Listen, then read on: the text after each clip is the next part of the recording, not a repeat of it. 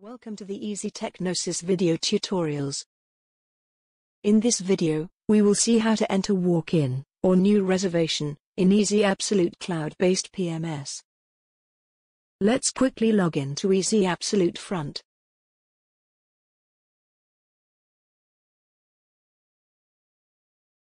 Upon logging in, you will see the stay view, which shows all the rooms configured in the PMS along with the reservations existing in those rooms.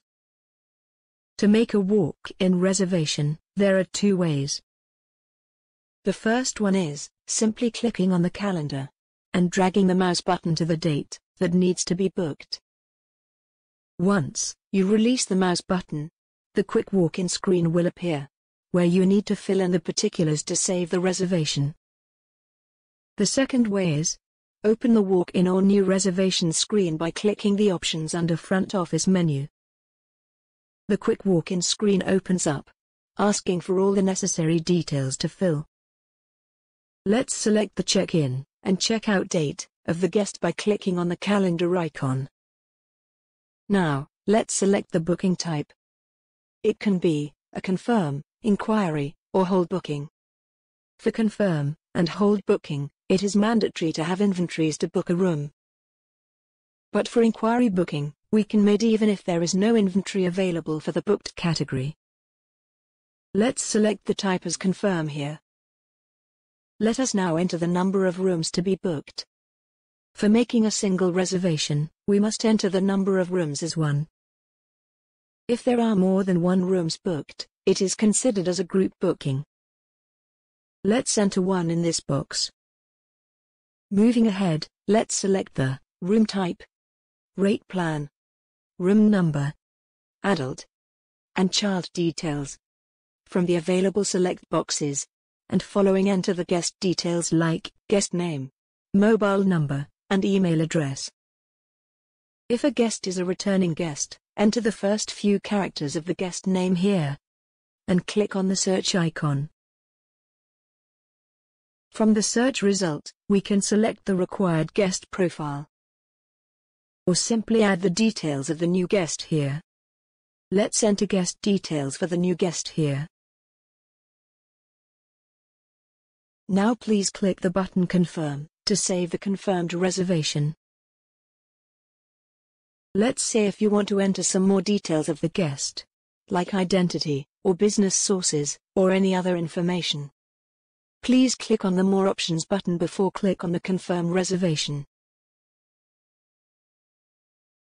Now the detailed walk-in screen will open.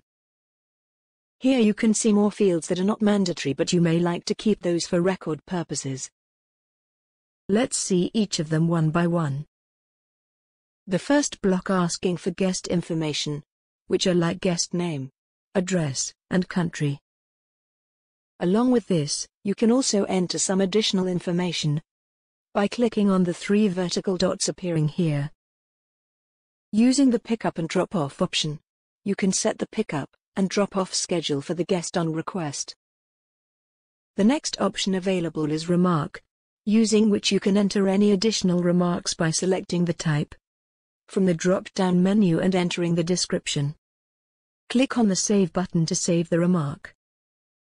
The inclusion option will allow you to add inclusions or extra charges to the booking. You have to select the extra charge from the list of configured extra charges, along with the posting and charge rule. Click on the Save button to add the inclusion to the booking. The other options will allow you to add the meal plan or upload the guest image. Let's move ahead to the stay information and contact information section where you have to select the information as already shown for the quick reservation screen. Let's enter the guest name and proceed further. The next section, which is other information, allows you to enter the details like guest identity, VIP status, nationality, and gender. Now comes the billing information, where you see this checkbox saying, Sellers complimentary. Checking on this box will allow you to sell the selected room as complimentary with zero rate. Which means that the guest does not have to pay for this booking. Coming to the next options, you can see three rate modes to select. Normal mode allows you to offer the rate, which you have already configured in the rates module in the system. In other words, you can say that these are the system-defined rates. The contract mode will allow you to offer the special rates to the guests who are coming from travel agents and companies that are being offered the special rates. Before that you have to first define the special rates for all the separate sources of corporates or travel agents in the configuration panel. Then only when you are selecting contract in walk-in panel and selecting the source name, rates will apply accordingly whatever defined on the back end. The manual mode will allow you to offer any random rates, which you have to enter here in the box. Click on the tax inclusive checkbox if the entered rates are to be considered inclusive of taxes. The next particular to select is the built to option. You can select any of these options depending on the requirement. Remember that the invoice will be generated on the name of the particular selected here. The payment mode is optional, which allows you to select the expecting payment mode from the guests. It can either be cash or credit. The cash option is only select if the guest is directly paying to the hotel. And following need to select the sub-payment mode which is available in the list here. Credit option will be selected if any prepaid bookings are receiving from any travel agent or companies. For these bookings payment has already been received to the respective agents. So we have to select the credit option, and follow select the source from which the booking is received. It will helps to post the charges under that ledger account.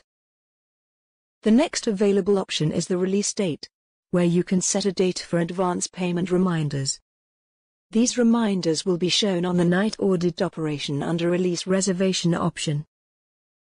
Moving ahead, we have the other options available. Where you can select the company details, business source, market code. Also, we can select the travel agent from here. Let's now see the discount option, where you can offer a discount to the guest. We can select the discount types from the available list here and select the discount rule accordingly.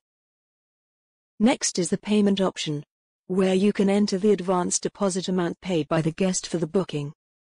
All you need to do is select the payment type and enter the amount paid as deposit in number.